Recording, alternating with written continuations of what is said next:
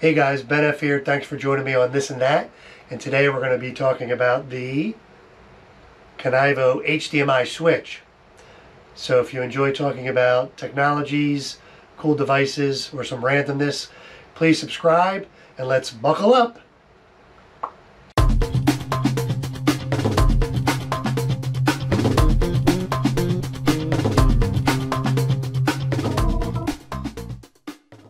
Welcome back guys, Ben F here. We're looking at the Kinivo HDMI switch. This is the top of the box. Shows you it's also 4K capable, which is great. This is the front. It shows you all five inputs. Power on the left, and that uh, big switch button when you want to go from one console to another, but I'll show you that in a second. This is the input 5, so that's your fifth input, and there's your other four.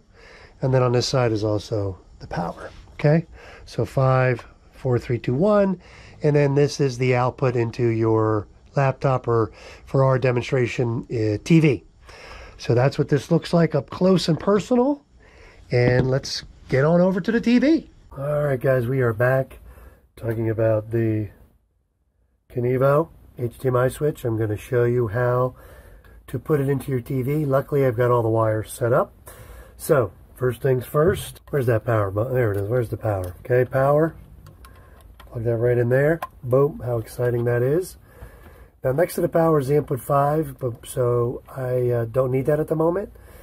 And obviously this is the front, I don't need that at the moment either. So let's take a look at the side here, and that's the output.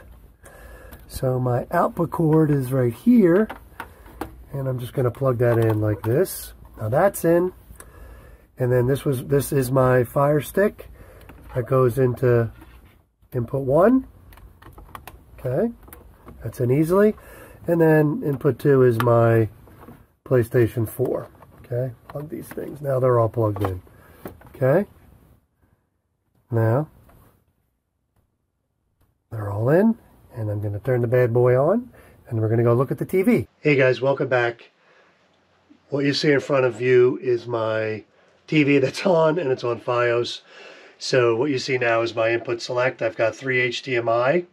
The reason I needed the Kinivo was because I only have three HDMI ports on my TV and I've got five devices. So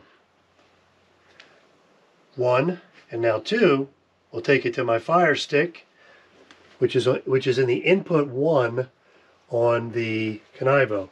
Okay, now while we're here, uh, you know, I want to play the PlayStation 4.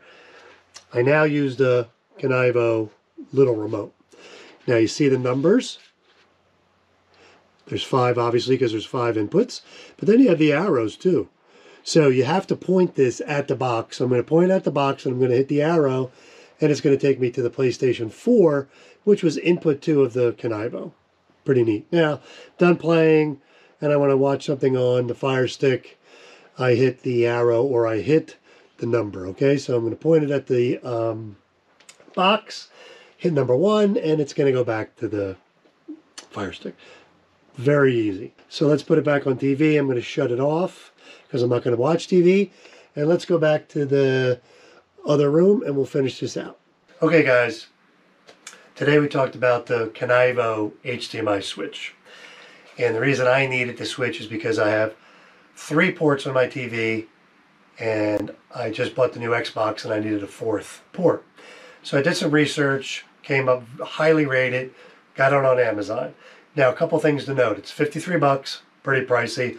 Assuming there are other devices cheaper, but I like it. I've used it for a week. It's got the remote.